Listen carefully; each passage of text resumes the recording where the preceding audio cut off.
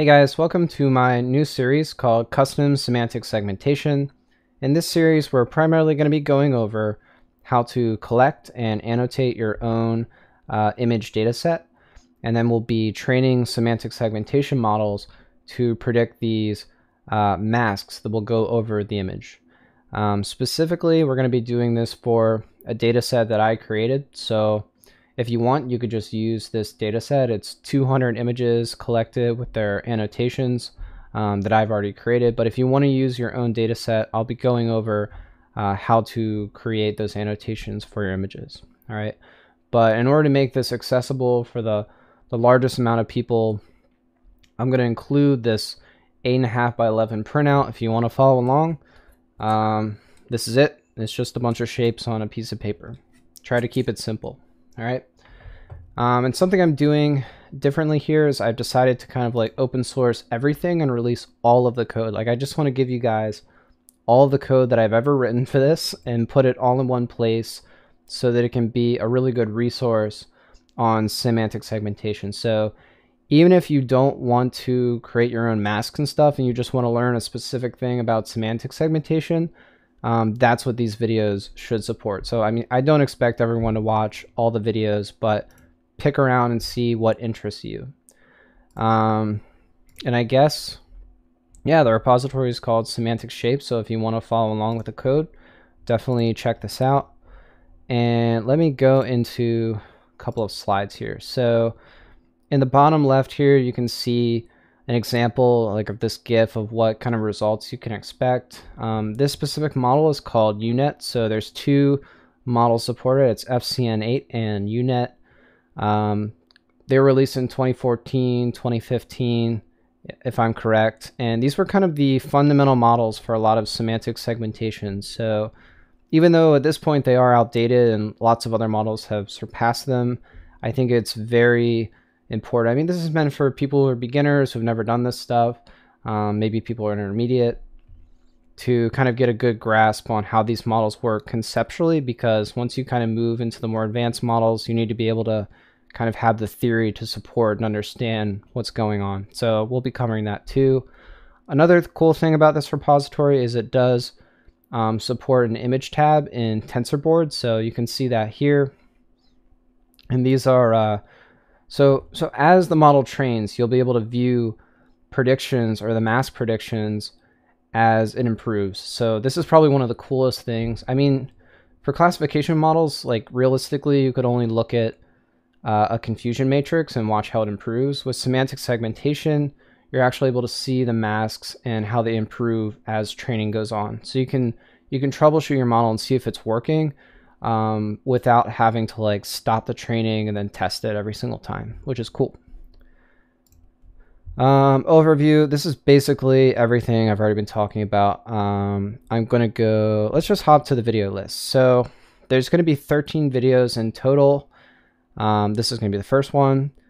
Uh, I developed everything on Ubuntu 18.04, so everything works on that. I have not tested it on Windows 10 yet, but I will do that next. If that doesn't work, then I will not be uploading this video. So uh, hopefully I should be able to get everything to work.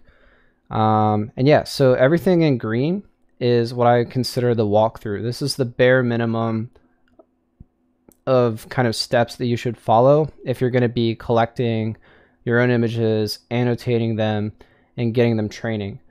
If you're someone who's a beginner and you're new to, you know, creating image masks, you don't understand color channels, um, and a lot of these topics in orange are new to you, and you don't know how to do that in OpenCV, those videos are primarily just walking through Jupyter notebooks and showing you guys how to do a lot of that stuff. So if you're new to this and you want to learn a lot about image masking and pre-processing all the data and just general OpenCV programming, that's what these videos are here for. Okay.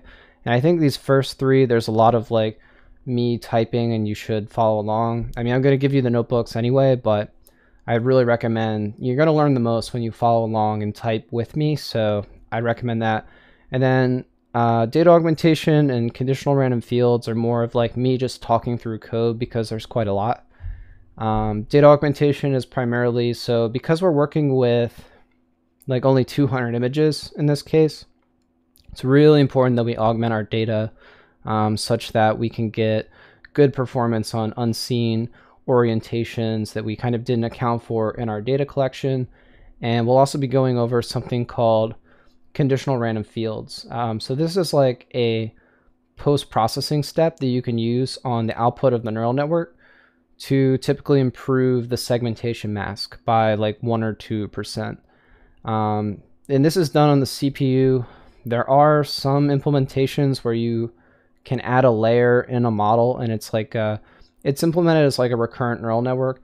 I don't have the time to get into this right now. Um, and it seemed like it was kind of difficult when I looked at it. So if you were looking for a GPU based deployment of CRFs, sorry, this is this is CPU based, but it does it does work quite nicely.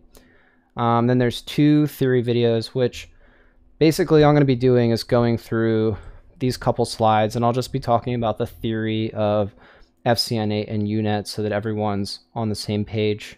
Um, and then the last two videos are again the walkthrough, so training the model and then streaming the results. All right. And uh, just to go through some requirements here, you're going to need a webcam. You need an NVIDIA GPU that has a compute capability of 3.5 or higher. Um, because this is computer vision, you're going to need a decent amount of memory. Maybe you can like maybe get away with two gigabytes, but I don't think you'll be able to. Um, probably something like four gigabytes at least is going to be necessary. I use the GTX 1070, which has eight gigabytes. Um, but the nice thing about semantic segmentation is you can train with a very small batch size. Um, so maybe you can get away with a really small memory. And if you, you kind of cut down on the number of parameters in the model, uh, that would be good.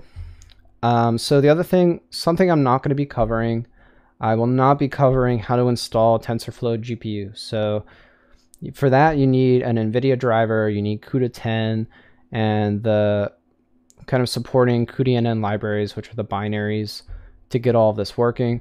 There are a lot of guides out there on how to do this, um, and I, frankly, I would just be wasting my time if I covered it. So I would make sure that you get that running. Um, there will be a point in the series where you kind of have to go do that, but um, if you already have that stuff set up, that's good. And I did release this for TensorFlow 113. Currently, TensorFlow 2.0 alpha is out, but I haven't really touched it yet because it's in alpha. I'm going to wait for it to become stable. Um, but this should pretty much hold up. I mean, a lot of the stuff that's being done in 1.13, it's going to be small tweaks to get it to work in 2.0. So I hope. Um, so that's kind of where, and there'll be requirements.txt. You'll be able to install this stuff. Um, and another thing, so on TensorFlow GPU, I didn't really mention it in the next few videos, but this is how you would test it and this is on their their docs so make sure that this stuff can run and if it does then you've got TensorFlow GPU set up um, and you're good to go so yeah um, in the next video we're going to be going over the install for Ubuntu or Windows I recommend you use Ubuntu but if you're someone who wants to use Windows um, I think the only tricky part is installing the CRF stuff but um, if I'm not able to get it working, then I won't even be uploading this video. So um, I'll see you guys in the next video where we go over installation on your system.